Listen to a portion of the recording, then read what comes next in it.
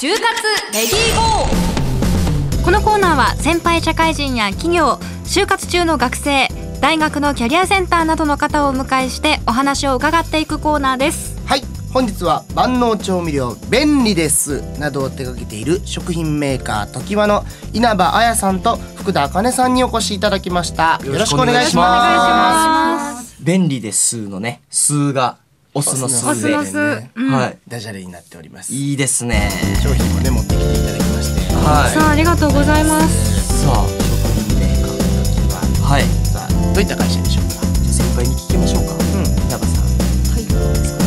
はい。えーと弊社は、えー、と兵庫県田島地方の霞というところにあるんですけれども、はい。えー、とそちらで創業100年以上続く、えーとはいすみません。えー製造販売を行っている食品メーカーです。はい。代表的な商品として先ほど、これですね。はい、おっしゃられました。ここにも持ってきてくださってるんですよ。これ便利ですが、まあ一番代表商品。そうですね。こうどういう商品ですかこれは？はい、えー、とこれ一本あればあらゆるお酢料理が簡単に作れる、はい。合わせ酢となっております。うーん例えばどういう料理にこれ使えるんですか？そうですね。炊きたての、えー、とご飯に、えー、と便利ですをかけて混ぜるだけで、えー、と寿司飯が簡う単に。他入れなくていいんですか？そうですね。うん。難しいだよね酢飯とか。よう分からへんのあれみりんとか何入れたらいいか、うんこれ一本できるんですよね。そうですね。めちゃくちゃ便利です。ちょっと百分 ね。えべおいいですね。さすが。今日は時矢さんの CM を取りに来ております。あなるほど それは僕もいただきたい。ありがとうございます。どうします百分は一見にしかずと言いますけれども、はい。ちょっとひちょろっと舐めさせていただくか説明100回聞くかどっちにしましょう。舐めさせていただきましょう。舐めさせていただきましょう、えちょっとじゃあ僕いただいてみます。すいません。え舐めるって。なんか、はい。ちょっとだけね。ちょっとねえまああのーどんなお味なのかだけ。確かに。飲み物ではないですもんね、そこが飲み物ではないですからね。若干とろみがあるんですかね。そうですね。ね。うーん。あもう全然ツンとしないですよ香りが。あ本当ですか、はい。ちょっとじゃあお出汁もたくさん入ってるんですね。はい。昆布エキスかつおだしなんかうわほんうわどう？すごい。全然お酢っぽくない。普通のお酢やったらねななかななんやろ？か見にくいとこもあると思いますけど。え？なんか。うん。どんな味？どっちかって言ったら甘みが先に来ますね。匂いしてきた。甘みが先に来うて、で後で酸味が追いかけてくるというか。あリンゴ酢なんですねそうですね。中に入ってるのうん。リンゴ酢も入ってる。はい。お酢をブレンドして。えー、リンゴ酢、えー、醸造酢穀物酢と米。はい。米の酢、はあ。いやほんまにちょちょっと、うんうん。ちょっと味わってみてくださいよ。ピクルスとかもこれだけで、そうですね。へめっちゃえいい匂い。なんかやっぱお酢ってちょっと苦手というか方も多いじゃないですか。うん。全然大丈夫これ。あそう。うん。でうまみもちょっとちゃんとありますねお出汁があるから。いただきます。うん。いやーほんまに今朝から何も食べてなくてお腹ペコペコなんですよ。いただきます。には向いてないかな、うん、には向いてないかな。ちょっとだけじゃあいただきます、はい。あうめえ！うん。嘘そんなに？うまい！驚くぐらい？いや、ほんと驚きますよ。え実はマジで、うまっ！うん。全然味違うやん、うん。お酢確かにじゃない。甘い。めっちゃ甘い甘いけどちゃんとあのだしの味もありますね、うん。めっちゃ美味しい。なんかね、あのー、なんやろ。アメちゃん舐めてる感覚というか。あちょっと。わかるわ。なあ。ちょっと。どうですか、うん。欲しい。欲しい。買ってください。何段階先のコメントしてるいや言ってる意味わかりました。めちゃくちゃとろみがあって、うん。美味しい。甘くて、うん。いろんなお料理に合いそうですし、うん全然普通の酢と違いますね、うん。違う。なるほど。これが便利です、うん。これはかなり便利ですね。100年でしょ？だって会社100年以上でしょ？100年続く会社で何パーでしたっけ？1パーに満たないとかですよね。ねうん。その貴重な。えうん。一つで、え、この便利ですはもう創業当初からあるわけではないんですか？そうですね。平成に入ってからあ、そうなんや。もともとはどういった会社なんですか？も何ともとは、えー、と食図を作っていた会社だったんですけれども、はい。えー、とこの「便利です」が生まれたのは、ええっ、と割と最近最近。ですね。なんか本当はおお酢そうです。がこうメインの商品としはい。てうん。売られてる、はい。なるほど。うん。ほ他の調味料とかも作って？あここちらご用意いただいてるのは醤油ではないそうですね。何でもごたれとお母さんのええだし。はい。ちょっといいですか？せっかくなんで、はい。いただいてみて。これ何？これは、えーお母さんのえーだしですね、えお母さんの味えーだし。うん。はい。あこのお吸い物とかえー、まあほんまあのそうめんのあれですか？こうつけるそうですえね。あそうめうんんお鍋もいけるお吸い物も。あこれちょっととろみがあるのか。とろみがある感じですか？ちょっとこれ希釈タイプなんで濃いかもしれない。ああ濃縮タイプですね。確かに。だいぶ濃いかもしれないですね。じゃああんまりこのままえーまあまあちょっと、まあまあちちょっとょっと舐めるぐらいでねねはい。ちょろっと。あの唾液で希釈してください。ああどう？けうわー美味しい。なんかちょっとえまああれかパンチ力が。ええ結構しっかりした味しますね。美味しいなんかでもうん。風味がすごい。鼻に抜けていく感じが、うーん。なるほど。ああ。せっかくなんでこ何っちもでもごたれもありますよ。比べてみてください。ごたれ。ごたれっていうねもううん。お前。何でもごたれ。うん。甘い匂いがしてますよ。肉じゃがかぼちゃの煮物すき焼き照り焼き。すき焼きもこれだけでいけるんですか？そうですね。はあ。あの割り下として、はあどうですか？あねあ甘い。甘い。ほんまやうわこれすき焼きめっちゃしたいこれで。あそうなんうん。やだってすき焼きの匂いもしてますもんねこっちまで。いいすみませんなんか僕ばっかり。別にいいですよ。はい。すみません。いいですね。いや美味しい。ちょっといいですか？あれ出ちゃっても。何が？ミービー。あ出た。すいません。いや眉みたいに言うな。すいません。僕眉みたいに美味を逆から言っちゃうんですよ。すいません。はい。今までで一番受けました。いいね。い今までこのミービーやった中で一番受けました、その大丈夫ですか？そのギャグ便利です。ああこのね。これはもう二人笑ってください、うん。そうですよね。はい、さあちょっと飲ませていただきましたけど、はい、はい。でもこれがちょっと僕書いていただいてびっくりしたのが、うん。はい。口コミで広がったんですか？この便利ですわ、えー。そうですね。うーん。どういったところから？うん。はい。えっ、と地元のお客様から、うん。えっ、と徐々に口コミで広がって今では全国のお客様から家庭に必須の万能調味料として高い評価をいただいています。えー本物ですよ本物。こういったものをお二人はすどう製造してるんですか？あそれぞれどういう仕事をされてるのか、聞いてみましょうさんの中で。はい、はい稲葉さんは？はい、私は、えっと、製造はしていないんですけれども、はい。はい。えっと、企業内のデザイナーとして働いております。デザイナー。はい。デザイナー。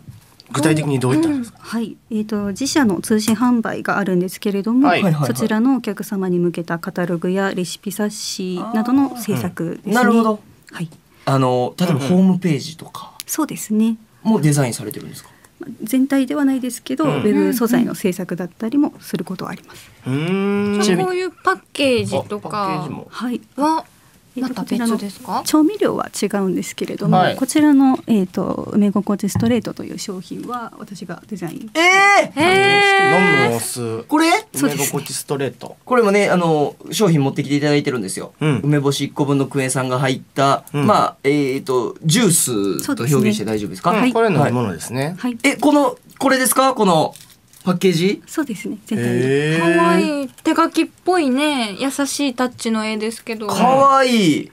これってどどういうふうにこう発注が来るんですか？こういう形のパッケージで出すからはい。ちょっとええ考えてくれよみたいな。あえっ、とですねデザインは私が行っているんですけれども、はい。そちらのイラストはまた別の方が描かれている状態ですね。ここにこれを配置して文字をここで、この大きさでとかをそうですね。稲葉さんが決められてる。そうですね。なるほど。いろんな人がこの一つに携わってるんですね。どうやって決めるんですかこういうの、うん。この文字は真ん中に置いてみたいな。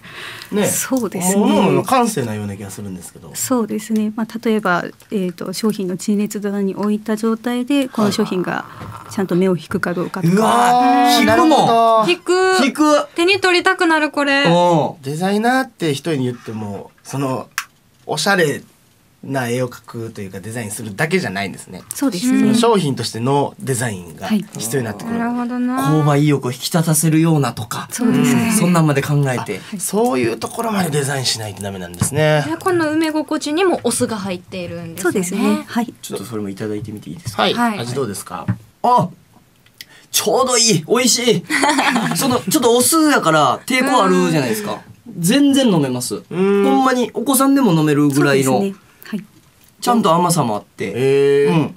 飲むお酢結構多いじゃないですか。多い。最近流行ってて、うん。うんめっちゃ飲みやすい。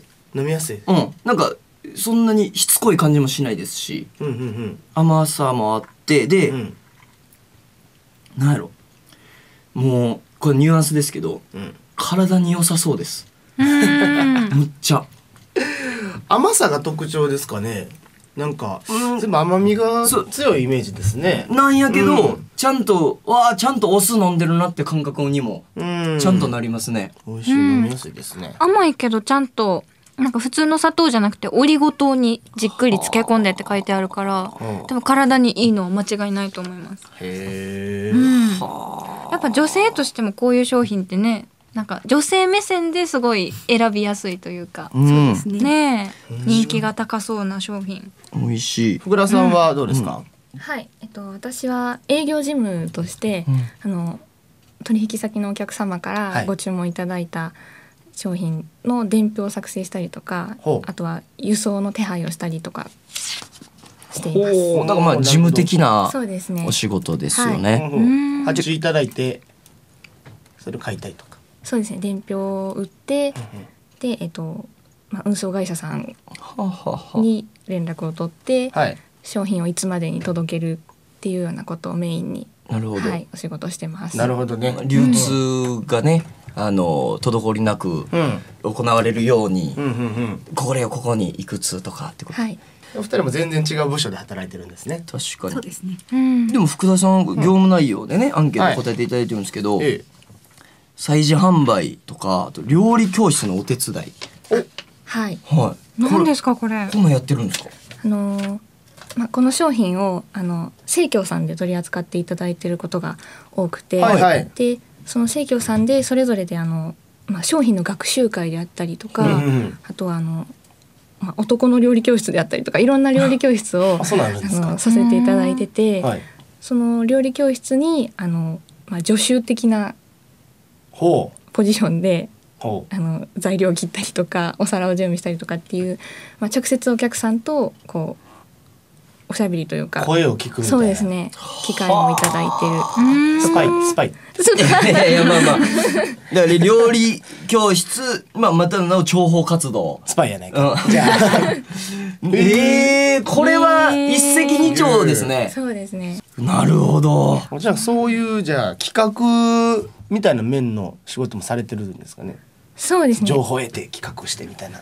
企画までとはいかないですけどお手伝いさせていただいて、まあ、こういう声もあったっていうのを、うんうんあの営業にまた伝えて、なるほど。はいそこで橋渡しで。そうですねなるほどうん楽しそうですねその仕事。うんなんか楽しいです一口に営業部と言ってもこう幅広いんだなと改めてうん確かにね。思いましたえね。確かにで大学でもうんあれですよねこういう。芸術系のお勉強されてたんですか？はい。はあ絵絵を描いたりとかですか？えっとデザイン、えっとグラフィックデザインの勉強をしておりましたので、はいはいパソコンとかそうですね。はい。専門知識ですよねそれもそうですね。でもまあ転職をされたんですって？おそそうですねも。ともと時はではないんですか？そうですね。はい。はい。もともどこに？もともとはえっ、と制作会社で。えーとまあ、それもグデザイナーとして働いていたんですけれども、はい。はいはいうん。制作会社って具体的にどんな仕事？あえー、とそうですね。広告代理店だったんですけれども、はい。はい。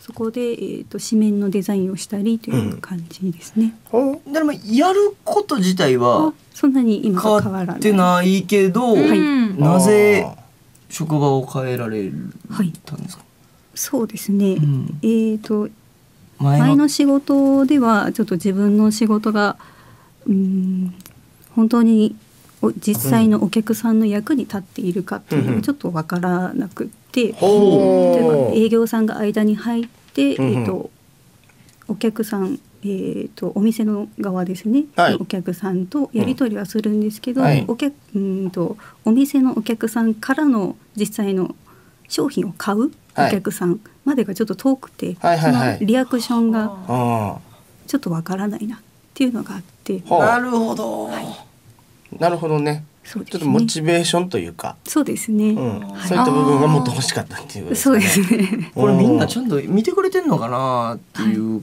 のをなるほどね。まあ、見てくれてるのかなというよりかは、自分の仕事が効果あったのかなっていうところですかね。ああ、なるほど。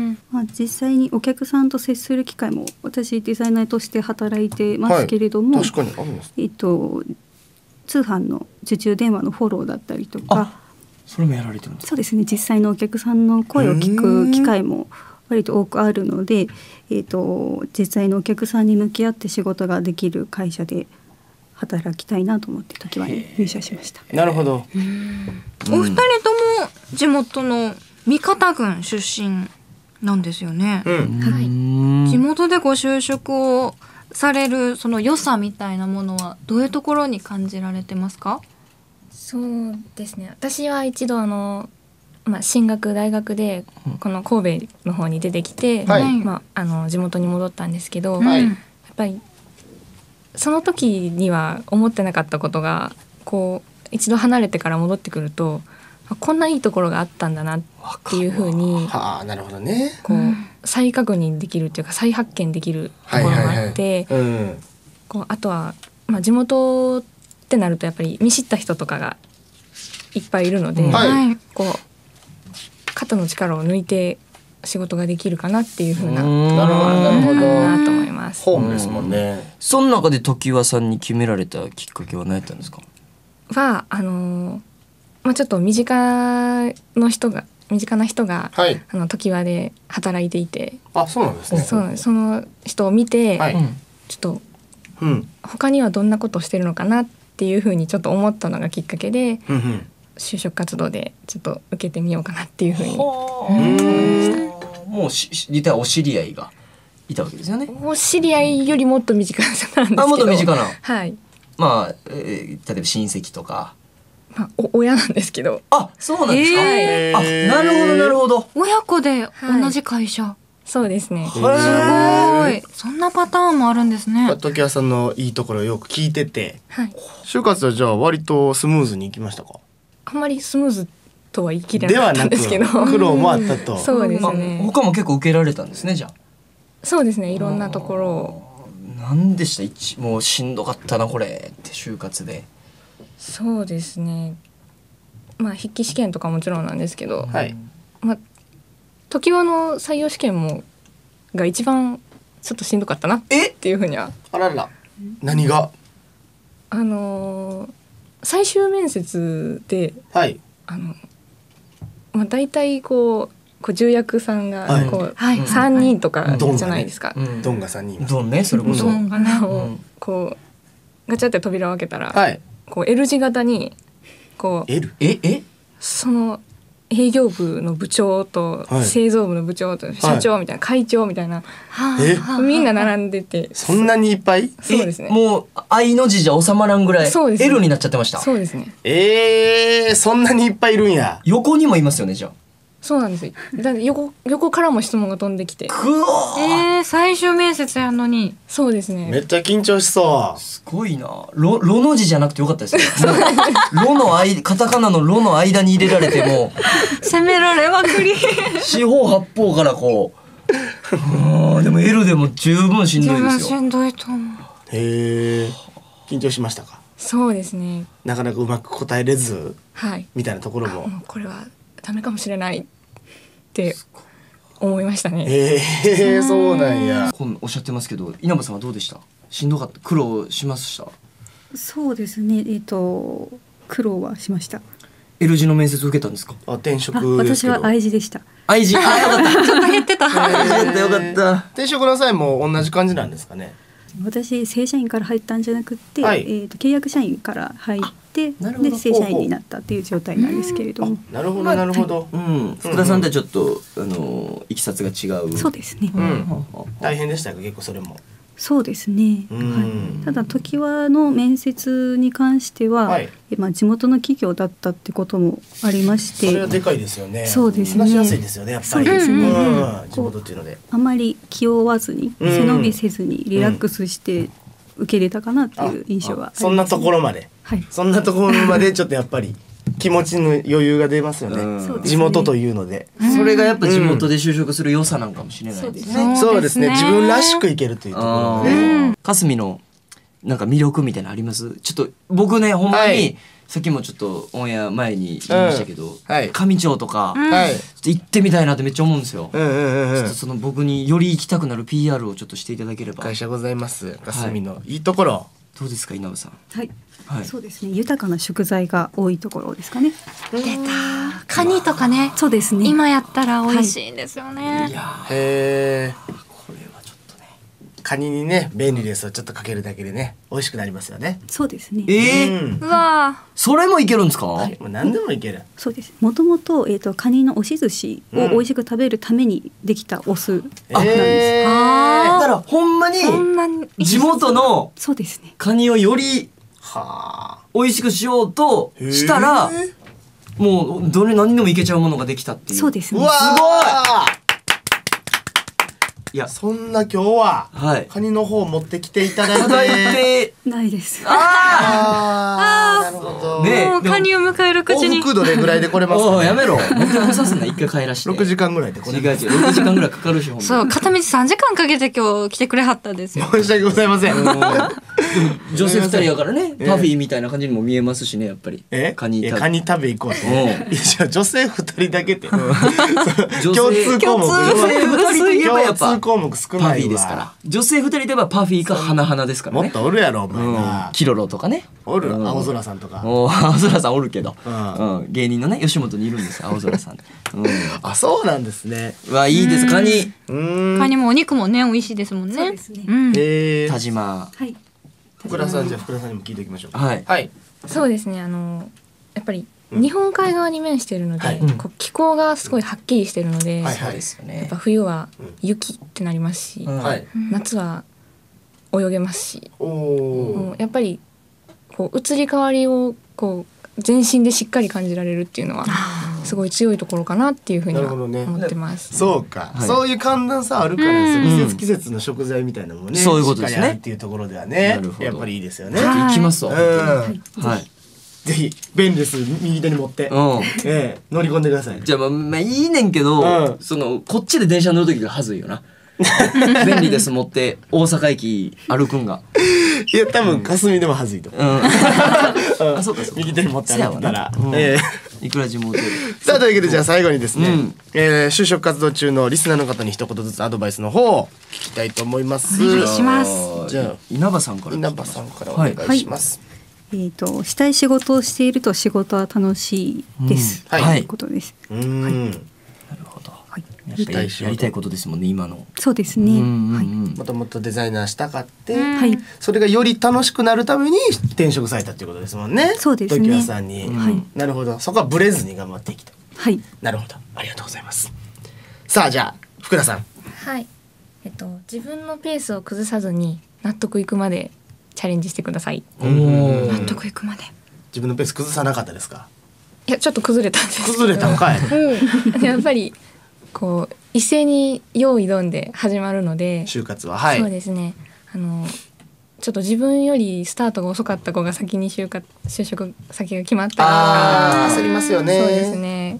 こうたくさん受けてるけどまだいいお返事をもらえないっていうのが続いたりする時もあると思うので、はい。やっぱそこはこう自分は自分っていう風にちょっと強く持って、はい。こうたまには息抜きしながら、はい。こうここがやっぱりいいなって思うところをはい。頑張ってほしいなって思います。なるほど。はい。